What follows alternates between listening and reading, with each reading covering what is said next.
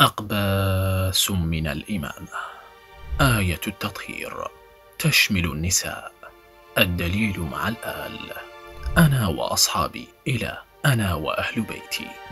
تدليس من درر الأطهار للمجلسي نموذج سهل واضح خطير.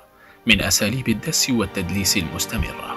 أولا يقوم المجلسي بتدليس ودس ووضع أهل بيتي بدل أصحابي في رواية الشيخ الصدوق.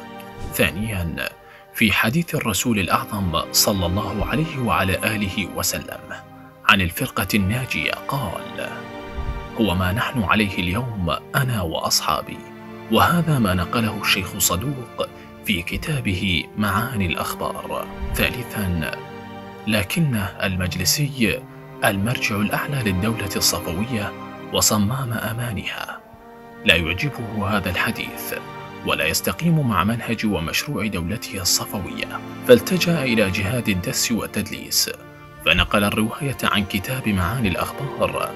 لكن مع تغيير وتبديل أنا وأصحابي بأنا وأهل بيتي. رابعا من الطبيعي جدا أن المجلسي ومنهج الدس والتدليس يتفنن ويعمل جاهدا على إخفاء آثار الجريمة. جريمة الدس والتدليس والتزييف بإتلاف المصادر الأصول الكتب التي أخذ منها الروايات. ومن هنا اختفت أصول بحار الأنوار. خامسا يتضح أيضا سبب إخفاء وإتلاف الأصول الأربعمائة كما اختفت وأتلفت أصول بحار الأنوار. سادسا شاء الله سبحانه أن تسلم بعض الأصول المصادر من التلف ومن العابثين المدلسة. وهذا البعض النادر السالم من التلف والعبث يكشف الكثير من الدس والتدليس كما في مورد الكلام في معاني الأخبار. الكاشف عن دس وتدليس بحار الأنوار. سابعا تنبيه. ليس البحار وليس بحار الأنوار بل إنه بحار الأنوار الجامعة لدرر أخبار الأئمة الأطهار. العنوان يدل على المعنون والمضمون.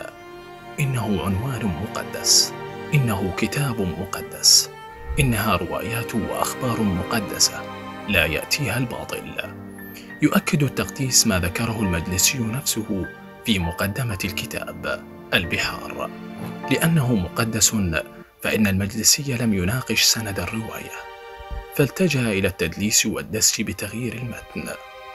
يجب على الشيعي القبول بهذا المقدس بصمت وخضوع وخنوع كالعبيد وإلا فهو الخروج عن الدين والملة والمذهب بل هو الخروج عن الإنسانية والحياة فيكون مستحقا للإفك والبهتان ويقع عليه الترويع والاعتقال والتشريد والتضييد والهدم والتحريق والقتل والترهيب.